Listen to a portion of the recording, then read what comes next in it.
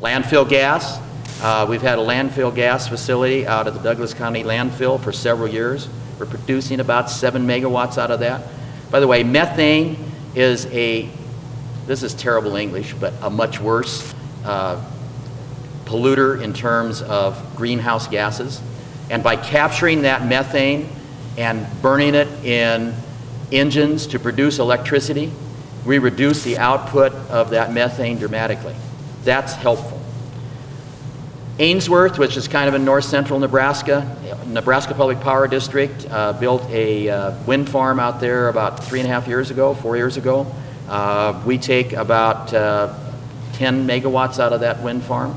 Uh, so some of the energy you're using today is coming from our little wind turbine at Valley and coming out of Ainsworth. Also, in March 15th of this year, uh, a new wind farm was uh, developed and uh, commercially went commercially available on March 15th.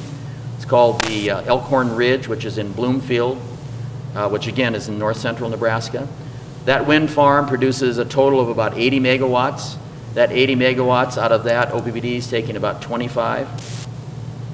Creighton University, we're partnering with Creighton University to do a commercial scale solar project. Uh, hopefully by the end of the year, when you drive by Creighton, it'll become very visible that that project is there. We want to see, can we really integrate effectively commercial scale solar into our generation mix?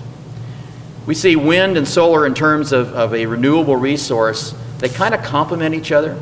Because in Nebraska, wind tends to only blow at night and I know everybody says the wind always blows at my house, but typically wind tends to blow at night. Also, the best winds are in north central Nebraska. by the way, they only blow about 40% of the time on average. So 60% of the time you still have to have another resource to keep the lights on. Solar marries very nicely though with our peak. Our peak in this part of the country is in the summer. And so we see the solar as being a distributed model for us, where we have lots of solar panels around the area. So at 2 o'clock in the afternoon on a July day when it's really hot and everybody's using a lot of energy, we want to be able to, to go to that solar resource and have us help us get through that hump. And then at night, the wind, it'll help us provide energy for you at night. So they make a very nice marriage. In addition to that, we currently have a request for proposal out on the street uh, where we're going to increase the amount of wind that uh, OPPD is going to use for uh, generation to help us meet that 10% goal that we have. Let's talk a little bit about energy efficiency. Where are we with, with the energy efficiency picture? Think of all the businesses that either you're in or that you go to. Let's take McDonald's. Do you suppose McDonald's sits around and goes, okay, guys, how many less hamburgers can we sell this week? Can we work on that? I want you to sell 20% less hamburgers. My guess is they probably don't do that. But we, as a utility, remember that 50 megawatt goal to reduce the amount of energy that you're using? That's exactly what we're doing. Instead of reducing the number of hamburgers we sell, we're trying to reduce the amount of energy that you use so we can harvest that energy so we can use that energy to help bolster our economy by using energy we didn't have to build a new power plant for to attract new industry to our area.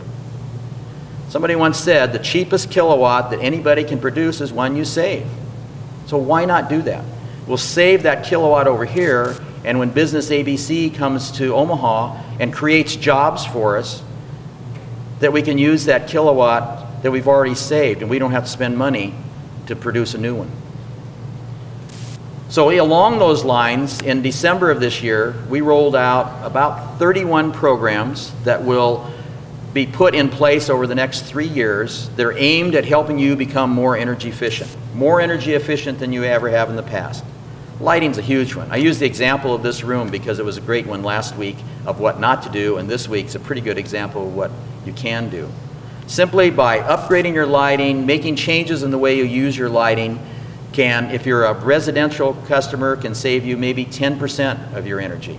If you're a commercial customer, that jumps up to 20 or 30%. And it's a pretty easy one to do. How many people in here have compact fluorescents, at least one in your home? Pretty good. So for those of you that didn't raise your hand, go to Walmart tonight. For about six bucks, you can buy a three pack and try the compact fluorescent. I guarantee you it's not the compact fluorescent of the late 80s, early 90s. Much better technology. They look just like an incandescent bulb and they use 75% less energy. Same output. Energy Star Homes, OPPD just got uh, an award for our efforts in helping builders do more Energy Star homes in our area.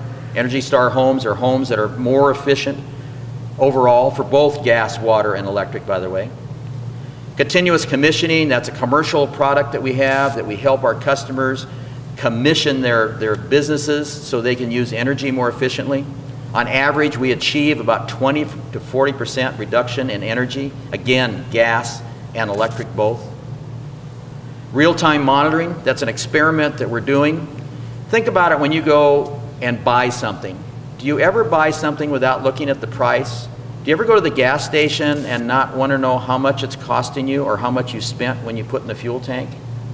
Our product is one of those products you have no idea what it costs when you're using it or how much you're using. Real-time monitoring is going to allow us to provide that information to you, how much you're using and what is it costing, and hopefully give you information so you can make wise energy decisions in your use of our product. So we have an experiment out there of about 150 customers that we started last, late last summer, early fall. We're going to carry that for an, about another six months or so and see if customers' habits can be shaped by providing them with knowledge. Low-income homeowners energy efficiency, uh, OPPD was, was instrumental in uh, helping the legislature look toward a bill called LB 101 last year.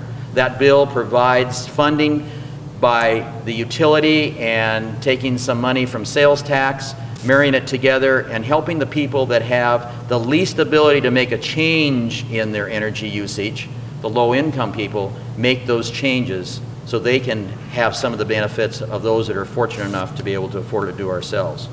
Air conditioning controls, uh, you'll see a pilot come out on that both for residential and commercial sometime in the next couple years where we will come out and not what we did 25 years ago when we shut your air conditioner off for a long time and it got real hot and everybody goes, this sucks, I'm getting out of here. What we'll do is on a very small basis, we will come in on maybe five minute increments shut your air conditioner down. You won't know it's down. And when we got tens of thousands of those out there, we can actually start shaping and shifting the load. So again, we can bring that demand down. And it's a very simple way to do it, and yet allows you to have the same level of comfort that you're used to.